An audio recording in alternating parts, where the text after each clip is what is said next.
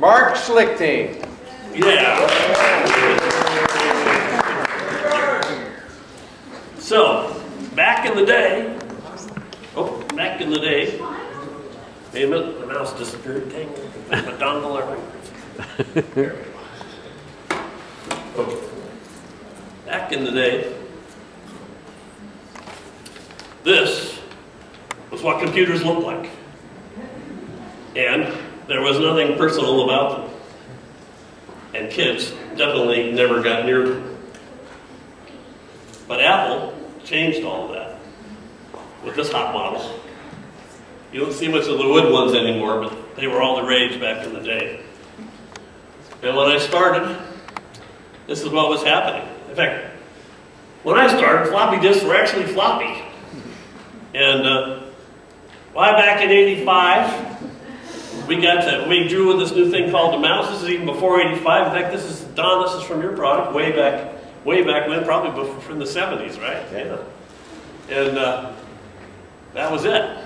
You know, that was, that was the state of the art. And uh, that's where he made all his big bucks. And, uh, and then it got better. And uh, although it's a little hard to see the text here, but uh, this was the state of the art. And, you know, it's just, um, we had, you know, we had to, we had to, we drew with a mouse. It was kind of like a block of wood. And you had to stop all the time and clean it. And uh, we had to, there was no, there was no uh, hard drive. So you had to, if you, you had to, when you played it, you had to start it with a, with a disc, and then you had to put in a disc to save what you were doing. So we're always doing the disco. You know, this is where disco came from, is that we're just switching drives all day like this, you know. And um, I remember when I got my first external floppy disk drive, that was a big deal. Then I bought a hard drive. $700, 30 megabytes. was like, I thought I was pretty good. And now I've got a drive that's smaller than the end of my thumb that's four gigs. It's just amazing kind of where we've gone. So, so I don't want to hear any aching from your kids about how hard you have it because we really had it hard. If I had a problem, we didn't uh, we didn't get go to the Genius Bar or a thing called the internet. we had to scour the neighborhood to find somebody else who had a computer and knew a little about it. I remember banging on my dentist door at 1 in the morning, next to three houses away, going, I need another disk drive. I've been drawing for three hours and forgot to save. and uh, I was working on Carmen Sandiego games back then. So when I started, let's see what the screen is.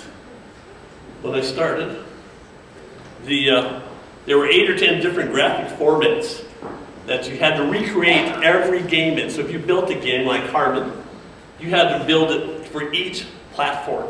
There was CGA, EGA, VGA, Super VGA, Amiga, Commodore 64, Apple I, Apple II, Apple II GS. And then this baby came out. Yeah, that was slick. Yeah. One bit graphics. we were happy for it. And I, I, I just bring all this up because I, I just, I don't want you guys complaining, you know, because we were able to all of a sudden jump into the next piece. And Eileen's not here um, this time, but this was a, one of the first books that was um, had changeable text. It was a little older products, but it's from Voyager Company. And they look, you know, this looks pretty good, except when you realize that everything was drawn like pointillist. You had to go in and draw it pixel by pixel by pixel. Imagine how expensive animation was. It was like a pain, but it worked. So, floppy disks. Um, another perspective from having been in the industry this long, as I've watched these waves come. And we were in floppy disks, and then you know, real, real hard floppy disk, and then, oh look, here comes, here comes uh, CD-ROM. But it was used as a storage device, it wasn't really playable, and then we turned it into a player, and meanwhile, you know, game platforms are coming up and down and going, and you just watch things coming. You know, from CD-ROM, we didn't quite see the internet coming, or what it was going to be completely. And from the internet, we weren't, we didn't really see all the handhelds coming. And every one of these markets has a rise and a fall.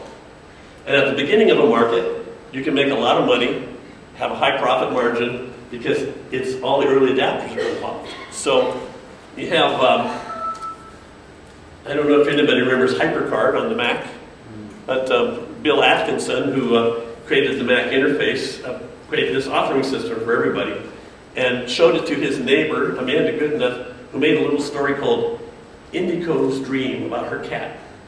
And he showed it at the lunch. She sold 250,000 copies at $60 a pop of CD, run of um, floppy disk that she made in her bedroom. You know, and I looked at it and said, "Ooh, I can do better than that." You know, which is some of where I went. I said, "I got to do, I got to do something else about books." But at the beginning of this arc, you see it over again. You know, and didn't I kick myself when I realized that people were making, selling 250,000 copies of fart noises? Man, I missed that window. You know? And then the market matures, and then it matures some more. And then you get to where it's bigger players, the profit margins go down a little bit, and that's sort of where we're at now. We're in this place where it's harder to get seen, there's some consolidation, but the market size is getting huger. So this, this talk is not about that, but it's just sort of interesting to watch these waves. I've watched five or six of them now, where you go, and I'm going, okay, I'm looking out. I was glad to hear Jesse's comments and other people's comments about what they think is where we're going, because until it's almost right in front of you, we almost don't see it. But, so let's see, where are we? So, what can we learn from all these kids? We can learn, I can learn myself. Technologies come and go. And that is not about the technologies It's that all kids instinctively know how to and are drawn to and engage in play. Play is how kids learn. It's not about the technology. Kids have been playing for millennia. You know, even cats and dogs play. It's part of being a mammal. Play is a, mam a mammalian thing. It's how we learn, it's how we create uh, our relationship to the world. And we just happen to be making the current set of toys. So what's really important, I've seen after all these years, is to understand about play.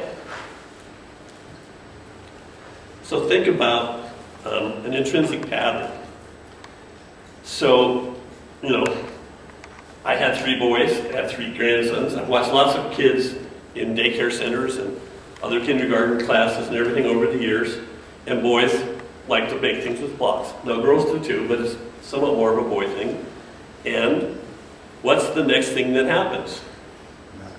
Bang, knock them over. So here's an intrinsic play pattern that I can remember from me, from my friends, from I see it now in my grandkids. He didn't learn it from somebody. There's just something that makes you want to go and knock that thing over. So, can you answer what what big product lately is using the same intrinsic drop? Angry Birds. Right. Angry Birds. This is intrinsic play meets technology. And it's a piece of where everybody can, they're tapping right into these older patterns of play, and it's a great product. Now, sometimes people go, well, you're ruining their homes if you, you know, if you have empathy. And generally what they do in movies and in other games when they want to include the women more is they have a reason. So, oh my God, those nasty pigs, they stole our babies. You know, the eggs are missing, that's the story. Now it's okay to go out and knock their houses down. And we see this in the movies all the time. This is the setup at the beginning of almost a lot of films, adventure films, action films. And, and the pigs are kind of snarky. So that when you don't, um, when you don't get them, they kind of go, and that's an invitation, emotional invitation to come and get you. They're goading you. So they're inviting you, they're inviting you, they're inviting you to come and play. So to a four-year-old, if this was a pile of, of real blocks, how long will this be left standing in the living room? It wouldn't take long before he just plowed right through it. This is an invitation. So, my first old timer tip is create invitations to play. that means there's something there that you, they can tell right away what it is. They can tell how to do it. They can tell how to get into it. Um, they, kids are just gonna, something that isn't hard for them to figure out. And then you're also tapping into intrinsic play patterns. The best games are all about intrinsic play patterns. You can go back and look at almost anything and see what it is about the game that engages the child, that pulls them in, that makes them want to be part of it. That's, as Jesse was just saying so wonderfully, it piques their curiosity. Children are naturally curious. And what we want to do is we want to give them something to do with that curiosity. So, think about how learning is progressive. So, it's your first time, three years old, you're up on the top of the slide, and man, it looks like a long way down. And you're going to lose control. You've never been this high before. You've seen other kids do it, but this could be pretty scary. Some kids freeze up there and climb back down two or three times before they get around to being ready to go.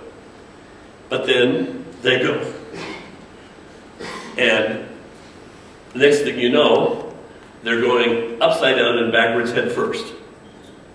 This is, you know, it might take a year, but it's is that piece about how mastery leads you to exploration. It leads you to experiment better. So you have to have a starting place, and then you go on to the next pieces. You know, and then the boys, you know, the, the older boys are going, oh, why don't I put my skateboard on? You know, I mean, they're pushing it out farther and farther, and I know because I tried all those things myself. And this is um, leveling. This is where leveling comes from. You start at a place of mastery where you feel confident, and then you push it a little farther. And then when they get mastery, you're still engaged, but you push it a little farther. So, um, so that's that's kind of tied into those first two a little bit, but that I, am remembering just remembering that piece of how going from one place takes you to the next place, and you know that's that slide could have been about curiosity, because that mastery then makes you want to combine the pieces. What happens if I do this? What happens if I do that? Um, the I Ching says, to attempt something furthers one. Just the act of the experiment, you learn something from. Win or lose, it doesn't matter. And in play, there's no winning and losing in play. There's not a score. There's not somebody else telling you, you know, the rules. Now, when you get older, there's structured games, and you need rules for the older kids and structured game. But in general, if you're playing on the beach, if your kids watch kids make up games, there's really no winning and losing. The next old-timer tip in software design, or making any product for kids, is that you have to keep the child's eye view. Being a former kid doesn't count. You have to remember to get into their head, to come down, and you know, walk around on your knees and see what the world looks like to them. A lot of people forget that kids under seven are primarily right hemisphere, which means they're not so logical. We often call that the, the magic years, because tooth fairies and reindeers on the roof, they buy it all. And around seven, the left hemisphere kicks in, which is more logical and linear. And the next thing you know, the eight-year-old comes to the five-year-old and goes, Santa Claus isn't real. No, they're, they're using the power of knowledge, but it, it shifts. This is why some of the best school systems in the world, like Norway and Sweden, don't even start kids reading until they're seven. Because really, their facility to do that isn't quite ready. So the other part about having a child is that you have to know the design. Where are they developmentally? Which is about what I was just talking about. Where are they in the ages and stages? And how gender affects certain kinds of play. These are really key elements because you can't get into their point of view until, you until you can do that. And Barbara uh, Chamberlin is often posting things that her younger kids say, and Darren sometimes too. And they make us laugh every time because they're out of the box, because they're not an adult point of view. So having the child's point of view is key. Just brief power of surprise. Surprise is one of the, I think, Rogers party, oh no, you know, they acted like they never liked it. But they did, because it was really touched to them. Because to the three-year-old, when he says, I like you, they go, you do? That's great, you know.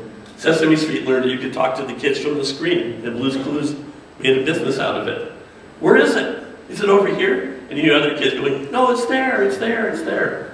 Um, or I worked with um, Bear in the Big Blue House for a year, uh, working a, a, a product based on the TV show. How many people have seen Bear in the Big Blue House? Disney Channel. At the beginning of the show, Bear comes out and he goes, "Hi, welcome to the show." And I, and he starts sniffing, and then he goes, "Wham!" and he puts his face right up into the screen, and and goes, "Oh, were you having chocolate chip cookies this morning?" And he comes, or something like that. And the kids are going, "No," you know. But I watch kids on the TV be sitting and watching, and they all go like this when the bear gets close to the screen because it's, he's coming close to them. And when we put it on CD-ROM, we were on, and on the internet, we were interested would they react the same way? Yes, they did. Under six, over seven, they were like, oh yeah, that's kind of cool. So it's really important to know who your audience is. Keep a child's eye view. You have to get out of the producer head. You have to step out and you have to look at what is it that is interesting to them? What has their curiosity? How else can you approach a problem? And when you're, you know, there's blue sky creativity, which is like R&D. Yeah, we'll, we'll put this together with this, and we'll do this and that. And sometimes those guys have trouble shipping products. And there's producer creativity, which is like, you know, we get from point A to point B, we gotta make these changes, we're gonna do these things. It's very efficient, hopefully, and it's subtractive.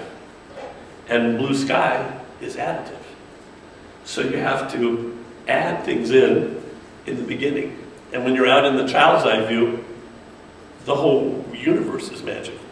You know, um, I heard an interesting talk by Annie Lamott, the writer, and she got a, a, bonus from one of her books, and she went down to uh, Club Med for the first time in her life, a family place where she could have, and she had her three-year-old son with her, and she was going to take tennis classes for herself, and she was going to, you know, fun things for him to do in the daycare center.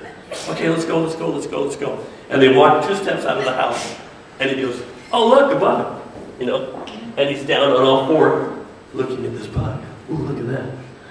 And she's going, ah.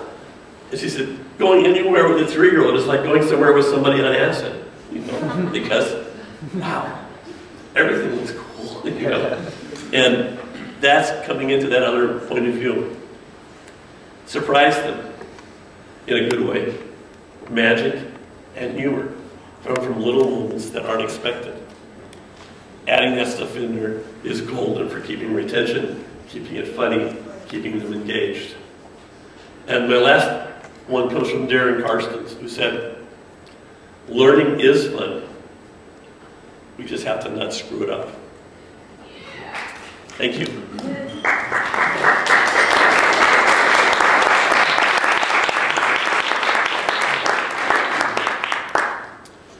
And now, um, it's time for the official Dust or Magic roll call. So it's my pleasure to introduce an old friend of Dust or Magic. Well, uh, not old, a seasoned, uh, experienced friend of Dust or Magic.